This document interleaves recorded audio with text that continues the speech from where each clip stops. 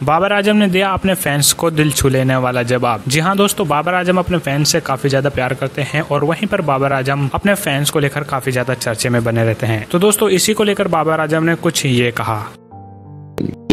अच्छे टाइम में और बुरे टाइम में भी। मैं तो अच्छे टाइम में तो सारे करते हैं, लेकिन बुरे टाइम पे जिस तरह आप लोगों ने मुझे सपोर्ट किया और जिस तरह पूरी टीम को आपने सपोर्ट किया, वो मेरे लिए, मेरे दिल के करीब होता है हमेशा और मुझे हमेशा एक चीज़ होती है कि यार, जो मर्ज़ी हो, जो मर्ज़ी हो, मेरे फैंस हैं, मुझे बैक करने के लिए और मेरी टीम को बैक करने के लिए। किया